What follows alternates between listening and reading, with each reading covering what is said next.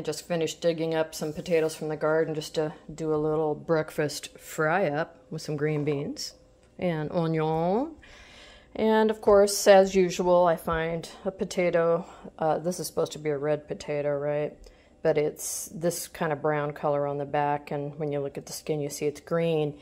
And you know, I've got a few that are green, and they were, you know, uh, uncovered, reaching toward the light. So I thought we'd talk about green potatoes and what does that mean.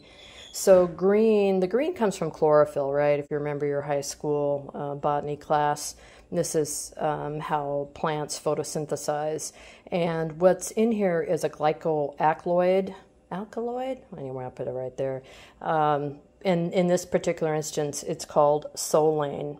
And solane, so it's it creates this solane in here, the photosynthesis and the glycoalkaloid. And what it does when you eat it is it can cause nausea and vomiting in some people um, and other GI upset. So that's why you're really not supposed to eat um, potatoes that have green in them. This is why I'm trimming just that very edge off that. It's just a little bit. Um, you can trim that part out which is no problem. Go ahead and just trim it off and you can toss it and then the rest of the potato is good to go.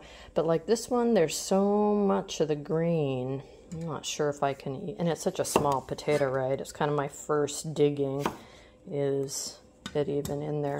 Anyway, so um, some people say you can cook this out. I say, why take the chance? Potatoes are cheap, and I've got a gazillion of them, so I'm not going to do that. Um, let me know what you do with it. But uh, maybe this is the first time you've figured out uh, what it is about the green that you're not supposed to eat. Right? People say don't do it, but they never tell people why. So that's a good why for you. We're going to go ahead and fry this up and uh, have a little egg on top make a good breakfast. So watch out for the green parts on your potatoes. Remember to cut them off. You can save these and plant them. Next year they will grow. This all my potatoes came from two five pound bags my friend Lisa gave me about four years ago. And uh, this year I've got about another 150, 200 pounds of potatoes to dig up and figure out what to do with. But so that's the deal about green potatoes. Don't eat the green, but you can eat the rest of the potato. Anyway, thanks for watching, and uh, we'll catch you later.